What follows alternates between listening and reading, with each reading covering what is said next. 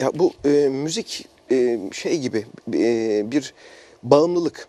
Evet. Bağımlılık işte alkol gibi, uyuşturucu gibi ama olumlu anlamda bir bağımlılık. Onlar kötü. Onlar çok Onlar, işte, Aa. onlar cız. Cız. E, yani ben e, işte bu bu yıl e, öyle aklımıza geldi. Benim e, sahneye çıkmamın değil ama konservatuara başlamamın e, bu sene 53. yılı. Vay be. O kadar oldu. Çok güzel. E, işte 53 Of. biraz şey bir rakam dedik 50 olsun. 50. yıl olsun.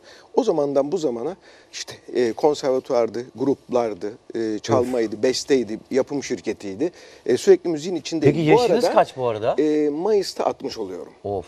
8 Mayıs'ta 60 E, oluyorum. Yani şu an henüz konservatuara 59'um. kaç yaşında girdiniz? Burada Ye- matematik... yedi olması lazım. Ya, Matematik yani yetmedi evet. dedim. Ben de bir an böyle Aa, 7 60, olmadı. Olmadı. Şimdi şöyle 50. sanat yılı değil. Müziğe, müzikle geçen 50 yıl. Yani e, sıfırdan başladığım zaman aslında müziğe başlamam daha da önce.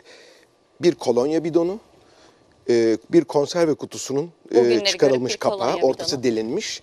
Elimde iki tane çıtayla davul çalarak ben Wow. e, ilkokuldayken pıtı pıtı pıtı o şekilde. Yani var bir şey. Gerçi ailede de var. Annem e, uzun yıllar korolarda söylemiş. Ablam benim konservatuarı bitirdi. Yani ben bizim hayatımızda hep müzik vardı. Neyse başlangıcı bir tarafa bırakalım. O çok yani üstünden 50 sene, e, neredeyse 60 sene geçiyor. E, ben sürekli üreten bir insanım. Türkiye'deki e, müzik anlamında. E, Türkiye'deki en büyük eksikliklerden bir tanesi bu. Özellikle bizi benim dalımda yani rock müzik dalında üretim çok az yapılıyor. Evet. E, ve e, yani benim şu anda çok fazla e, bilinen bir insan olmamakla beraber şu anda 5 tane albümüm var. Ayın 20'sinde de 6.sı çıkacak. Solo mu? çok güzel. Solo. Solo. Hepsi Sabih Cangil diye solo olarak.